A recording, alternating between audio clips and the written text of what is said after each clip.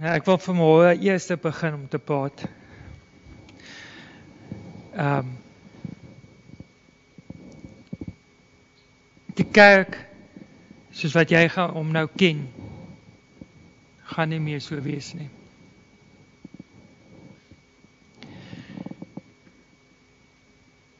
Die human rights ehm um, die UN ehm um, laat ek eers soos begin. Wie kan onthou daai ouetjie wat laas jaar by Joshua Generation die kerk wat hulle uh, um, een van hulle leerstellings was um is om jy weet om 'n kind te tugtig moet jy hom 'n pak slaag gee soos wat die Bybel sê.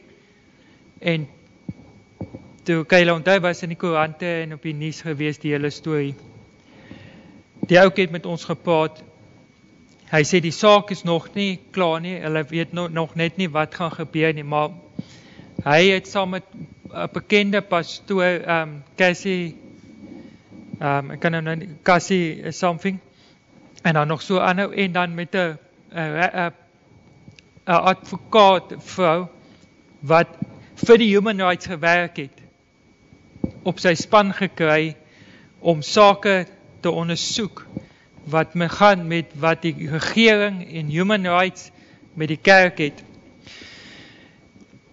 Hulle is nou besig van die United Nations wette deur te gee na Suid-Afrika se parlement toe wat goedgekeur moet word wat teen die kerk gediskrimineer. As jy enige iets gaan doen wat hulle nie van hou nie, gaan hulle vir jou boete gee of vir jou in die tronk gooi. Daar sit nou Suid-Afrikaanse pastore in die tronk. Daar sit nou, hy 20 sake ontrent op die bord gewys waarmee hulle nou betrokke is. Daar's 'n ouetjie in uh hier in Kaapse vlakte ergens in een van die townships het gepraat en gesê dat enige sonde uh is sonde soos homoseksualiteit. Hulle is verskriklik erg dat as jy daaroor praat, Hy het 'n boete gekry van 1 miljoen rand.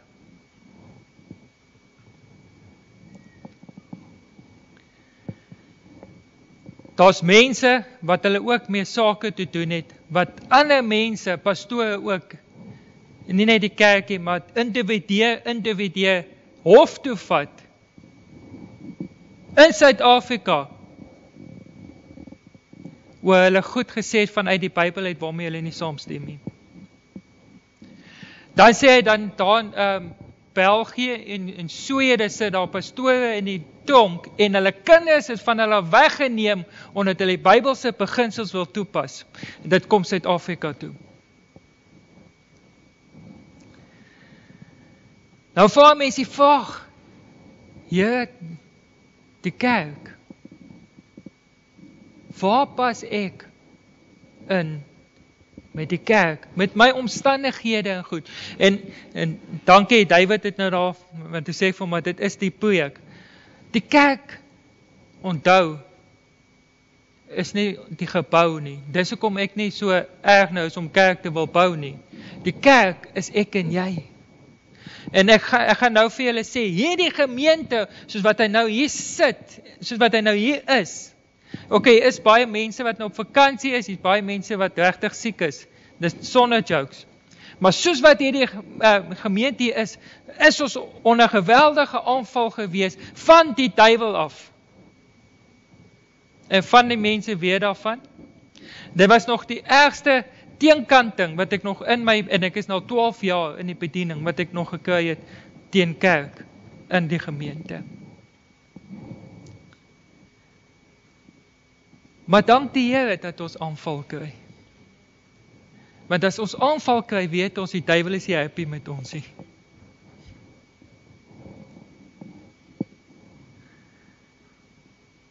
Maar wat is God? Is kerk nog vandag relevant? Is kerk nog vandag God se antwoord? Wil ek eers vir jou sê, nee, kerk is nie meer relevant nie. Want ons het dit gemaak dat dit nie meer relevant is nie. Want kerk is nie 'n Sondag storie nie. Kerk is daar waar jy elke dag sonder werk sit, Ellen. Vervolging by jou werk kry, sonder kos sit. Met probleme sit wat jy nie op jouself kan doen nie, waar mense na jou toe kom en sê vir my Ek lees 'n storie in die week dit het in Johannesburg gebeur en ehm um, dit het 'n pastoor vertel wat eh, ehm um, die mense ken wat in sy kerk is. Trevor ehm um, Trevor Hudson. Vir 6 jaar Ry twee kollegas vir Benoni, daar waar die pastoor se kerk is, na Pretoria waar hulle werk is. Ry die twee uh, mense en julle wat van die Transvaal kom, dis 'n eentjie, né? Nee. Vir 6 jaar elke dag ry hierdie twee ouens werk toe. En op 'n dag na 6 jaar, toe sê die een ouetjie vir die ander ou Elke dag vertel jy vir my of elke of ek weet, laat ek so sê, ek weet jy jy gaan elke Sondag kerk toe. Maar ek wil net vir jou sê ek glo nie in God nie. Jy sê nou maar ek verstaan nie hoekom sê jy so. Want hy sê vir sê vir 6 jaar lank het ons saam gery. Jy het nooit met my gepraat oor jou God nie.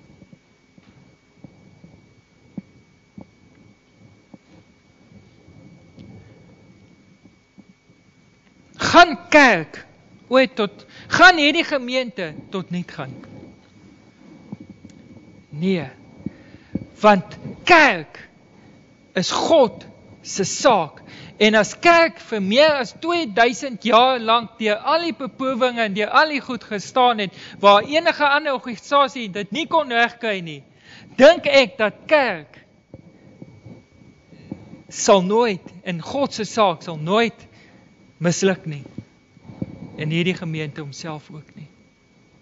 Al gaan ons nou deur beproewings, al gaan ons deur dinge wat ons geraak word. Maar waar pas ek? En dis nou jy met die ek in in hierdie prentjie. En ek wil jou vat Efesiërs 1 vers 17 en 23. Paulus kom en dan bid hy. Hy sê ek bid vir julle vir die die die kerk in Efesië vers 17 dat die God van ons Here Jesus Christus, die Vader van die heerlikheid aan julle die gees van wysheid en openbaring en kennis van hom mag gee. Verligte oë van julle verstand sodat julle kan weet wat die hoop van sy roeping en wat die rykdom van die heerlikheid van sy erfdeel onder die heiliges is.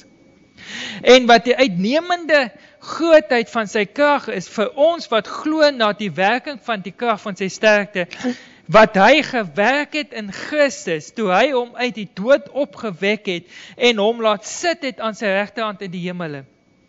Bo alle owerheid en mag en krag en heerskappy en elke naam wat genoem word nie alleen in hierdie wêreld nie maar ook in die toekomstige. En hy het alle dinge onder sy voete onderwerp en hom as hoof bo alle dinge aan die gemeente gegee wat sy liggaam is die volheid van hom wat alles en almal vervul ek wil dit graag vir jou in Engels lees en want Engels die Engelse gedeelte en ek wil dit vir jou uit die message uit lees um verduidelik dit net vir my soveel mooier. Hy sê, I ask the God of our master Jesus Christ, the God of glory, to make you intelligent and discerning in knowing him personally, your eyes focused and clear so that you can see exactly what it is he is calling you to do. Grasp the immensity of the, this glorious way of life he has for you, his followers Oh, the utter extravagance of His work in us who trust Him. Endless energy, boundless strength, all this energy issues from Christ. God raised him from the dead and set him on a throne in deep heaven, in charge of running the universe, everything from galaxies to governments, no name and no power except from his rule. And not just for this time being, but forever. He is in charge of it all. He has the final word on everything. And in the center of all of this, Christ rules the church. The church, you see, is not rehearsal to the world. The world is rehearsal to the church. The church is Christ's body in which he speaks and acts, by which he fills everything with his presence. Ek dink dit is iets wat ons verstaan nie. Paulus kom en hy sê, ek bid dit dat jy dit kan sien en kan leef en ervaar. Hy skryf hierso aan die gemeente in Efesië. En hy sê ek bid dat julle kan verstaan dat toe Jesus uit die dood uit opgestaan het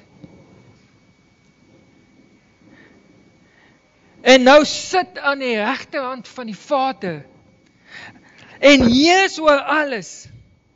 Hy sê ek bid dit dat jy sal verstaan in ons taal dat God Jesus Christus heers oor ons taal oor die munisipaliteite en oor die ANC en oor wat ook al dan um, um, in beheer is God Jesus Christus is in beheer van dit. Hy sit op die troon.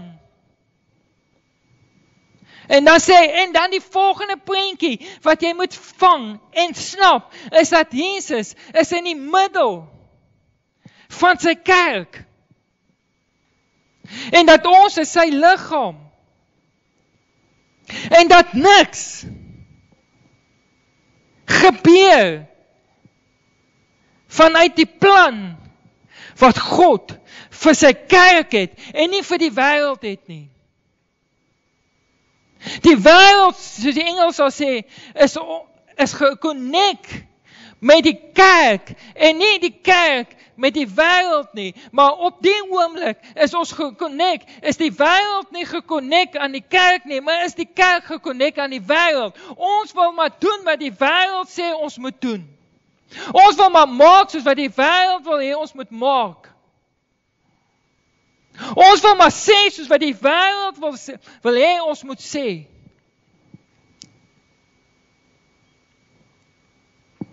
En daarom kom ons baie keer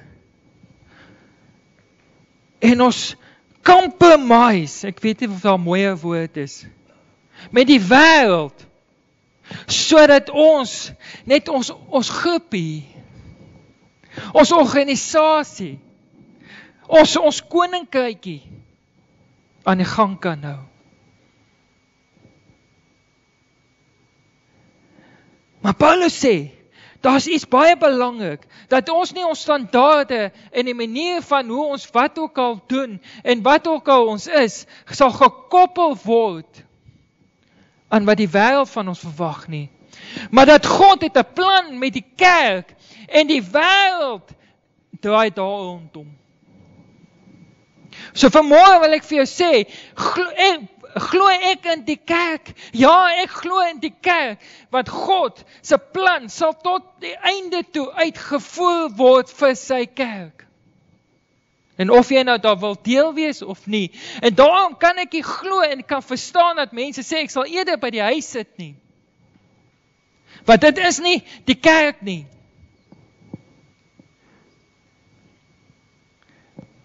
Ons is die kerk. Die gebou is nie die kerk nie. Maar God se plan is dat 'n fellowship, 'n community van gelowiges bymekaar kom sodat ons mekaar kan optel en getuig vir die werk wat God die kerk in die wêreld ingestuur het. Daarom sê op ander plekke bemoedig mekaar met hierdie woorde. Bid vir mekaar. Wanneer julle bymekaar kom, het iemand te woord, het iemand 'n loflied, het iemand so die kerk is altyd die plek Laat ek dit eerder anders sê. Wat Paulus nou hierso sê is: Hoor mense, Christus is die kop en die kerk is die liggaam. Die hande, die voete, die mond vir die wêreld. Dit wat ek hier ontvang, dit wat ek hier beleef, moet ek gaan uitdra. Hy gaan uitleef. I will praise him in the storm. Het God ooit beloof dat daar nie storms in ons lewens gaan wees en nie um um challenges in ons lewens gewees nie. Nee, maar wat hy wel beloof het is ek sal saam met jou deur hierdie want ek is met jou. Ek is saam met jou in die storms. Want ek is die kop van die liggaam. Die kop en die liggaam kan nie van mekaar geskei word nie. Maar dis hoe baie keer ons wil ophou. Ons wil sê, Jesus sit jy net so 'n bietjie hierdie kant en ons gaan aan hierdie kant. En dan wanneer Sondag is, wil ons sê, "Oké, okay, kom ons sit nou ehm um, soos 'n helm met vir Jesus net geweer op." En uh, het ons hierdie godsdienstige ehm um, religious uh, kyk op ons gesig. Goeiemôre pastoor. Hoe gaan dit met u? Maar dit gaan hoffie binne, maar dit gaan goed. Ek het net my foon net daar agter geslat. Nee, maar dit gaan En dan wonder ons hoekom ons ons gevoelens teenoor mekaar en ons gevoelens teenoor kerk so nie lekker kan gel nie, want ons is nie opreg nie. Hoe gaan dit vermoë? Nee, dit gaan sleg, maar kom bid vir my. Kom kom jaal saam met my dat ons hierdie saak kan um saam voor die Here se voete sit en dat ons saam dat ons dit kan uitleef wat God in gedagte vir my lewe het. Want op hierdie oomblik verstaan ek God se plan in my lewe nie, maar saam met die medegelowiges van 'n community stap ons saam in hierdie pad en ons kan saam vir mekaar bemoedig en ondersteun en en toelaat dat God se stem en, en sodat ek dit daar buite kan uitvat in die wêreld en daar na my familie toe en vriende toe en kollegas toe en dit uit te leef om te sê ek is in die storm. Daar is klippe in my pad. Ek het vandag uh, in die week vir vir 'n paar mense gesê baie keer kan ons moet ons kom ons op 'n plek in ons pad en daar's klippe in ons pad. Ons het 'n keuse om met daai klippe te maak. Daai klippe kan my laat val of ek kan daai klippe gebruik as stepping stones na vorentoe. Maar dis ons keuse.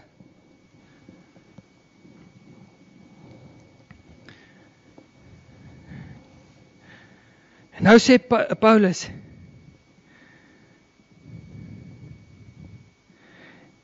Hierdie dorpie Efese was 'n baie belangrike stad gewees. Want dit was die handelsroete tussen die weste en die ooste wat bymekaar daar gekom het. En vir so vir die Romeine was dit 'n baie baie belangrike um, middelpunt gewees en vandag bestaan daai stad nie meer nie. Ehm um, maar hulle sê daarso is daar nog sekere goed wat jy kan sien? Onder andere advertensie wat nog daar sigbaar is en die advertensie gaan so dis nogals dit want die matrose het gewoonlik daar afgeklim en jy weet daar hulle uit die stad toe gekom en so en die advertensie gaan ehm um, gaan so iets dis dit ehm um, is 'n vroutjie wat sonder klere sorry dit is nou maar so geteken is op op 'n klip.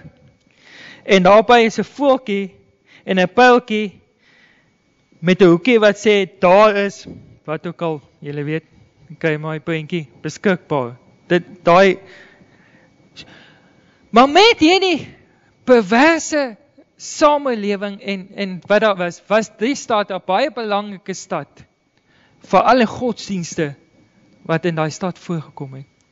En hulle reken En dis hoekom ek dink dat dit van baie van toepassing op ons lewens vermoë is vir hierdie gemeente. Hulle reken dat Efesiëse se kerk nie baie groot kerk was nie. Hulle sê hulle reken dit was so plus minus 100 soos wat ons is. En hulle was tussen al hierdie goed gewees.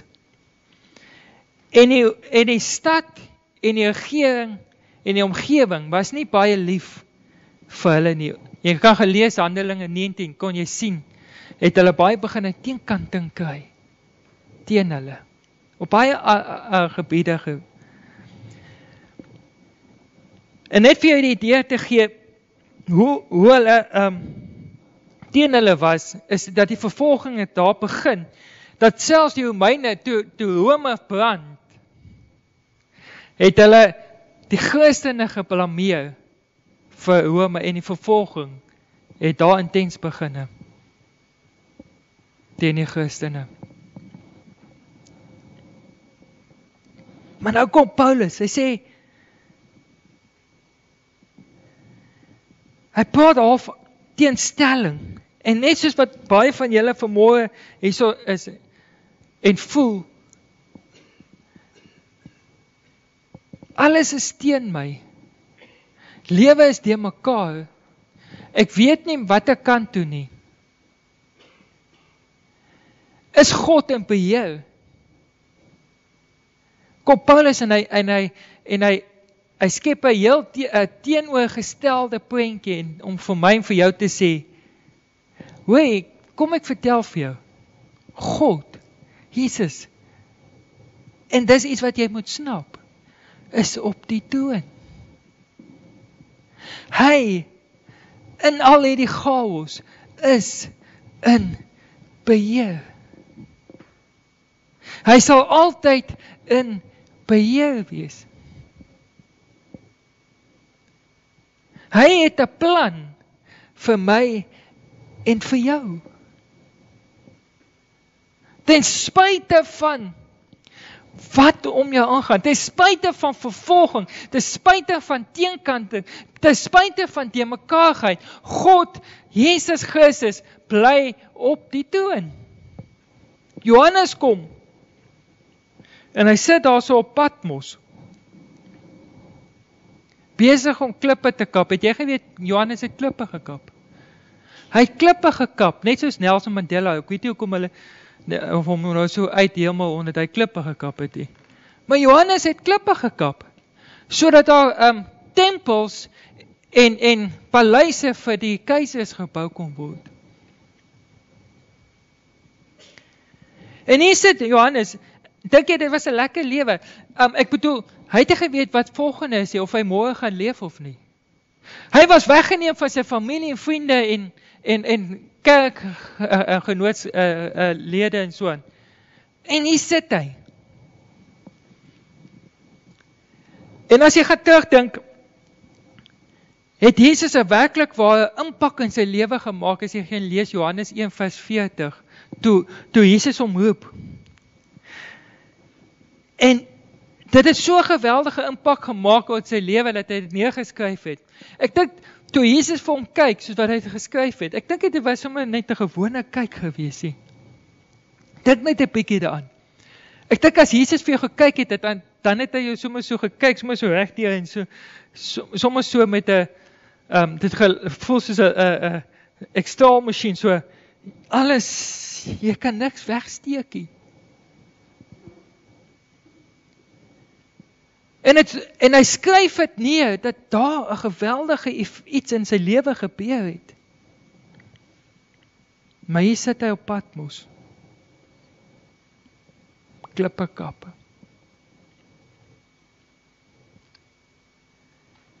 En hy skryf 'n brief.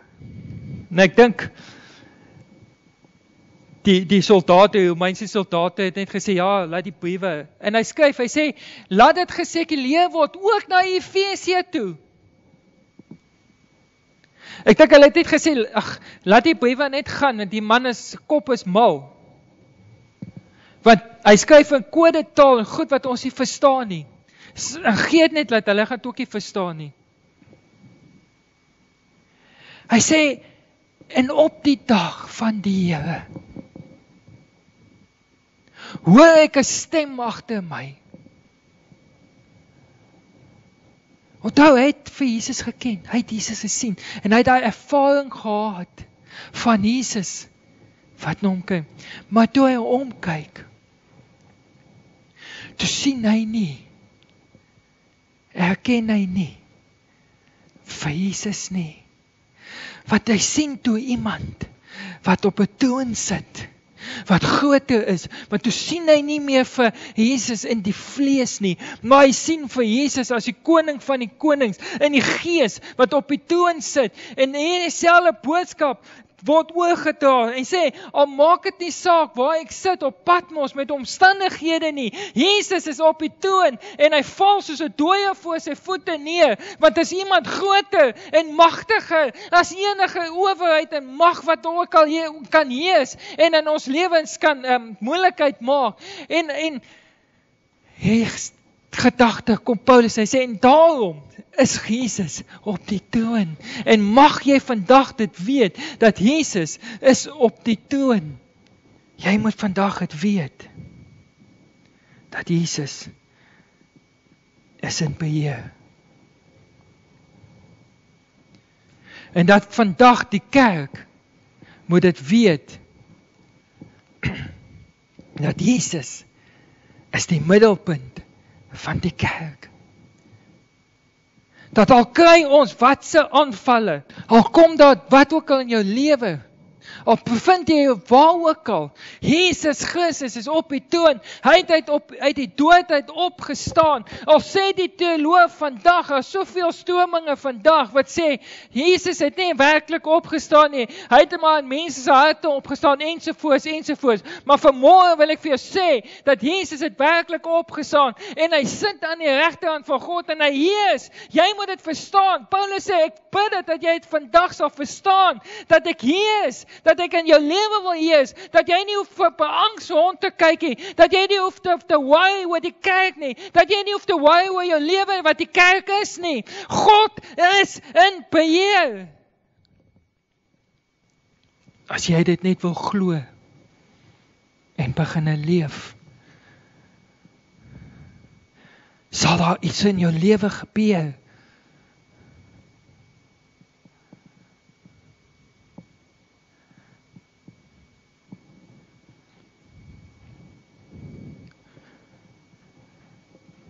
Maar die groot ding vir môre is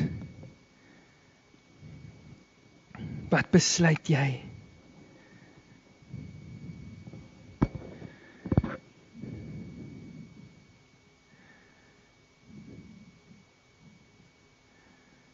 vir môre. Die gom wat ons vir môre vashou. Is nie maar net omdat ons glo nie is nie net net ons omdat ons emosionele behoeftes om by mekaar te kom bevredig nie. Is nie maar net om 'n 'n lekker gevoel van community met mekaar te hê nie. Maar dit wat ons mekaar vermoë aan mekaar vashou en en gel Want ons verskil tog van mekaar as mense hierso. Is die wete dat Jesus Christus die middelpunt van die kerk is en soos wat die Engels sal sê and his presence wat ons nie regtig verstaan en uitleef nie want as ons verstaan dat sy um, gees is met ons sal ons verstaan dat ons wat die gebou is in die kerk is, waar ook al ek beweeg, wat ook al ek doen en wat ook al ek aanraak, sy gees is met my, sy teenwoordigheid is met my. So elke krag en elke mag, elke ding wat ek aanpak, deur die krag van God kan ek dit aanpak want sy teenwoordigheid is met my. Sy kom wat die gelowiges is aan mekaar vashou.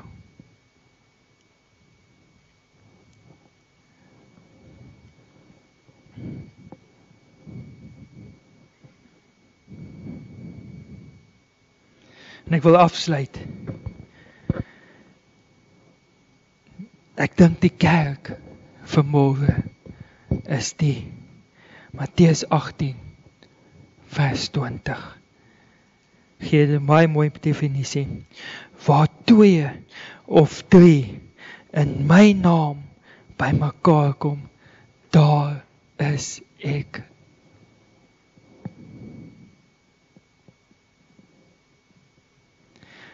As jy 'n volgeling van Christus word, dan vind jy uit jy is nie alleen nie. Maar Christus is saam met jou. Vanmôre wil ek jou uitnooi. Ek wil 'n tweeledige uitnodiging maak om te sê Kommit jy jou vanmôre jouself weer eens op 'n opnuut teenoor die kerk?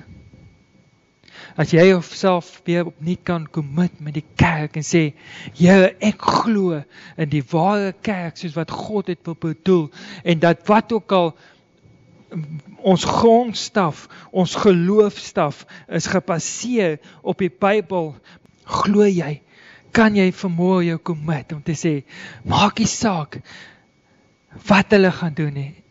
Ek commit myself om te glo wat die woord van God sê en ek staan by die ware kerk wat God bedoel het want hy is die hoof daarvan. En nou wil ek jou die tweede uitnodiging maak. Te sê Here, ek is in die omstandighede. Ek het hierdie goed wat teen my gebeur. Ek het al hierdie bedrukkinge Maar vermoë verklaar ek om te sê ek weet Jesus Christus is op die troon. Hy is in beheer. En daarom vat ek vermoë sy hand. En ek weet hy sal my deur die storms lei. Wil jy nie saam met my staan? Dat ek vir daai gebed kan doen. Here, ons kom vermoë Ons kom bid veel eers en om te sê ons verklaar vermoë om te sê ons kommit onsself teenoor die kerk, die ware kerk van Christus. Maak nie saak wat se wette, wat se goed hierdie wêreld teen ons gaan inbring nie.